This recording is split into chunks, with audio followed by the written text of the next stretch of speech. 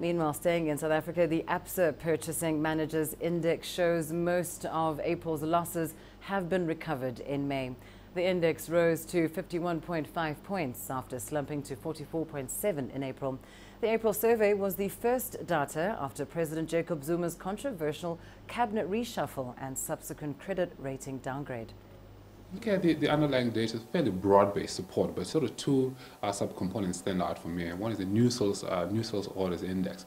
That was up quite strongly, uh, which kind of suggests that domestic demand, which we, have been highlighting as one of the constraining factors for domestic manufacturing, appears to be to be, be, seeing a bit of life now. It's still fairly modest, but it appears to be seeing a fair bit of light. Another key component was business activity, which in this survey is a broad measure of, of, of output. That was also up quite strongly. We suggest that uh, I think the weakness that, that we did see in April was temporary rather than uh, rather than some than, than an indication of renewed weakness in the sector.